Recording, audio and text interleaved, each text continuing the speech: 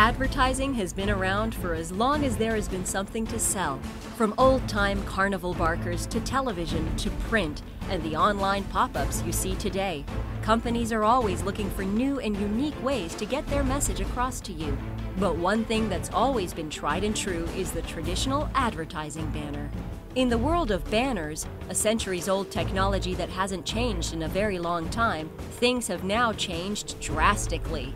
Come with us to historic Wellington, Ohio, and meet the world's greatest in the banner business, E.L. Hatton Sales.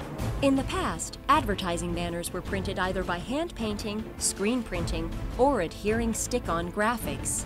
Then they were reinforced to withstand outdoor conditions by sewing a hem and installing metal grommets to strengthen the fastening point for ropes, a technology that was unchanged for nearly 200 years.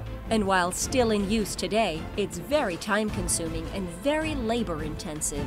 E.L. Hatton Sales came along and invented a way to make a better mousetrap, as they like to say, called banner ups. In the early 1990s, banners were really becoming popular as a form of outdoor advertising. The problem with a sewn and grommeted banner is that it can lose a lot of its tensile strength. Banner ups are made of high-strength polymer films that are laminated to very specialized adhesives and then die cut into shapes that fit the corner of the banners.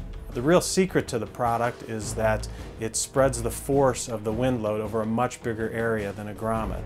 And they're so easy to use. You just basically peel and stick to the corners of the banner and you're ready to go. Just how much stronger are banner ups than all else? E.L. Hatton conducted wind tunnel tests in a government research lab. Banners fabricated with full banner ups and power tape system withstood winds up to 98 miles per hour, hurricane force winds. Since the creation of banner ups, E.L. Hatton's distribution network has exploded. They now have over 450 outlets nationwide and even have made their way into Europe and around the world. In the old days, banners were made in large screen printing factories where people had the space and the equipment and the skills to do sewing and grommeting. But the digital printing revolution has changed all that. Now it's easy to print digital banners in the small shop or office environment. That's where our solution works so well because it doesn't require any special skills or equipment. And most recently, E.L. Hatton has introduced Bravo Banner System, a fully automated banner making system that will take the banner industry by storm.